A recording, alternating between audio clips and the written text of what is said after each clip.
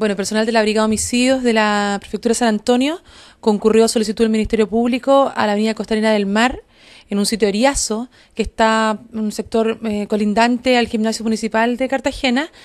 eh, en unos, unas especies de rucas que estarían instaladas unos indigentes. Notamos la muerte de una mujer de 56 años, quien falleció eh, con antecedentes de una enfermedad respiratoria que tenía, no se observaron lesiones atribuibles tercero, no obstante el cuerpo fue remitido por orden del Ministerio Público al Servicio Médico Legal para efectuar la autopsia correspondiente. Esta mujer estaba hace dos años viviendo en situación de calle y vivía con en esas rucas con un grupo de seis indigentes, con lo que estuvo compartiendo eh, alcohol en la noche, hoy día en la mañana despertaron nuevamente, comenzaron a beber, ellos tienen una situación de alcoholismo crónico también asociado al consumo de, drogas, que es lo que nosotros pudimos establecer en el lugar mediante la entrevista de los testigos